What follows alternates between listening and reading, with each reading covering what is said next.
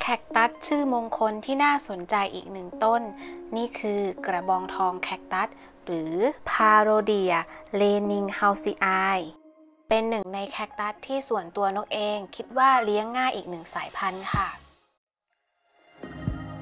ต้นนี้นะคะนกได้มาตั้งแต่กระถาง 2 นิ้ว ยังไม่เคยเปลี่ยนดิน เปลี่ยนกระถางเลยค่ะ โตแล้วนะคะ อันนี้จะต้องขยับกระถางแล้วก็เปลี่ยนดินใหม่แล้วค่ะ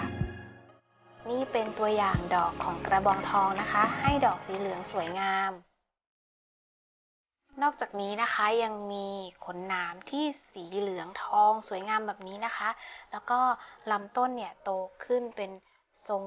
กระบอกนะคะ สูงขึ้นไปเรื่อยๆนะคะ ไม่ใช่ไม้ที่ยื่นนะคะ แต่ว่าเขาจะโตขึ้นไปด้านบนนะคะ ไม่ได้ออกข้างค่ะ เป็นทรงไม้ลำนั่นเอง วยมากๆเลยนะคะ ถ้าขนสีทองแบบนี้ และก็เป็นหนึ่งในแคคตัสที่นกรู้สึกว่าเขาจะอึดแล้วก็ทนนะคะ โรคแมลงก็จะไม่ค่อยมีด้วย ตอนได้มานะคะ ต้นอยู่ที่ความสูงประมาณนิ้วกว่าๆเองนะคะ เท่าเท่ากับกระถางเลยแต่ว่าตอนนี้สูงไปไกลแล้วค่ะ วันนี้เราจะมาเปลี่ยนดินกันนะคะ เพื่อที่เขาเนี่ยจะได้เติบโตได้ดีขึ้นนะคะ อันนี้ก็เหมือนกับสารอาหารในดินเนี่ยหมดแล้วค่ะ เลือกกระถางที่ใบโตขึ้นมาสักเล็กน้อยนะคะ เพื่อที่จะได้มีดินเยอะกว่าเดิม เพราะว่าลำต้นของเขาเนี่ยโตขึ้นแล้วนะคะ จากนั้นก็เดี๋ยวเราจะรองก้นกระถางด้วยกาบมะพร้าวสับนะคะ เพื่อที่จะให้ข้างล่างเนี่ยโปร่งแล้วก็น้ำไม่ขังค่ะ เป็นวัสดุรองก้นกระถางที่ราคาไม่แพงแล้วก็หาง่ายด้วยนะคะ จากนั้นก็ใส่ดินปลูกแคคตัส ถึงแม้ว่าจะดูแลง่ายนะคะ มีความทนทาน แต่ดินปลูกเนี่ยจำเป็นจะต้องใช้ดินปลูกแคคตัสนะคะ เพราะว่าจะระบายน้ำได้ดีกว่าดินปลูกต้นไม้อื่นๆนะคะ เพื่อนๆนะคะ จะผสมขึ้นมาเอง หรือจะสั่งซื้อออนไลน์ก็ได้นะคะ เดี๋ยวนี้มีร้านค้าออนไลน์มากมายค่ะ เดี๋ยวนกจะลงลิงก์ไว้ด้านล่างให้นะคะ จากนั้นก็ใส่ปุ๋ยละลายช้า แล้วก็ Starkle G ค่ะ กันไว้ก่อนนะคะ ถึงจะไม่ค่อยมีแมลง แต่ก็ควรที่จะใส่ป้องกันไว้จะดีกว่า เห็นต้นสวยๆแบบนี้หนามยาวอ่อนๆ แต่ว่าหนามเขาสามารถปักมือได้นะคะ เพราะฉะนั้นควรจะสวมถุงมือหรือใช้กระดาษพับแล้วก็จับแบบนี้นะคะ ที่นกทำให้ดูนะคะ อย่างนี้ก็จะง่ายด้วยนะคะ บีบกระถางนะคะ ถ้าบีบแล้วเอาออกยากนะคะ ก็ให้เพื่อนๆหาไม้มากระทุ้งตรงก้นกระถางก็ได้นะคะ ราะว่ารากของเขาเนี่ยเดินเยอะบางทีก็จะเอาออกยากนะคะ จะเห็นได้ว่ารากเนี่ยเต็มกระถางแล้วนะคะ เพราะฉะนั้นเนี่ยก็คือว่าเขาก็อึดอัดแล้วจะต้องเปลี่ยนกระถางขนาดไซส์กระถางด้วยนะคะ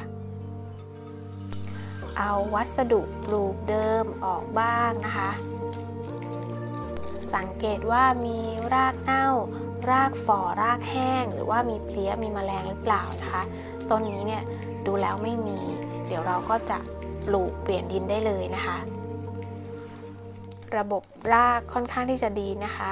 ต้นนี้ก็จะไม่ได้ตัดแต่งรากค่ะ จะลงปลูกไปแบบนี้เลยนะคะสำหรับเพื่อนคนไหนจะตัดรากก็ได้นะคะ ถ้ามีเวลาก็ทำได้เหมือนกันค่ะ เพราะว่าจะได้ปลูกง่ายด้วยนะคะ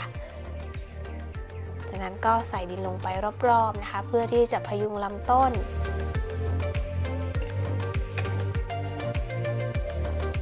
ชื่อกระบองทองนะคะ ก็เป็นชื่อเรียกไทยๆของเรา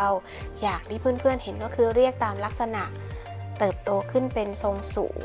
แล้วก็มีขนหนามสีเหลืองทองค่ะ ก็เป็นชื่อกระบองเพชรที่มีความหมายดีนะคะ จากนั้นก็โรยหินพยุงลำต้น เพราะว่าต้นเขาเนี่ยเขาเรียกว่าเติบโตขึ้นเป็นลำเพราะฉะนั้นต้องพยุงลำต้นค่ะ บางครั้งถ้าต้นสูงมากเกินไปอาจจะต้องใช้ไม้ค้ำนะคะ เปลี่ยนดินใหม่ๆแบบนี้นะคะ รอให้ครบ 1 อาทิตย์ค่อยรดน้ำแล้วก็รดทีละน้อยๆไปก่อนค่ะ แล้วก็อย่าพึ่งให้โดนแดดจัดนะคะ ไว้ในที่แดดรำไรพางแสงไปก่อนนะคะ กระบองทองเป็นแคคตัสที่ชอบแสงแดดนะคะ อยากให้เขาโตเร็วๆ แล้วก็แข็งแรงเนี่ย ก็จะต้องให้ได้รับแสงแดดสัก 5-8 ชั่วโมงต่อวันเป็นอย่างน้อยค่ะ แทบจะไม่ต้องดูแลอะไรมากนะคะสำหรับสายพันธุ์นี้ แล้วก็ปุ๋ยเนี่ยก็ควรที่จะให้ทุกๆ 3-4 เดือนครั้ง เป็นปุ๋ยละลายช้าก็ได้ค่ะรดน้ำเมื่อดินแห้งเหมือนแคคตัสสายพันธุ์อื่นๆนะคะ หรือไม่ได้เลยก็ สัก 5-7 วันครั้ง ค่อยรดน้ำทีหนึ่งก็ได้นะคะ เป็นหนึ่งในแคคตัสที่ได้รับความนิยมนำไปจัดสวนกลางแจ้ง แต่ว่าอย่าลืมนะคะ ใครที่นำไปจัดสวนกลางแจ้ง อย่าลืมทำดินให้โปร่งๆ แล้วก็น้ำตรงนั้นไม่ควรที่จะขังนะคะ เขาก็เจริญเติบโตได้นะคะ ทิ้งท้ายด้วยดอกที่สวยงามแบบนี้นะคะ ดอกจะออกก็ต่อเมื่ออายุราวๆ 5-6 ปีขึ้นไปค่ะ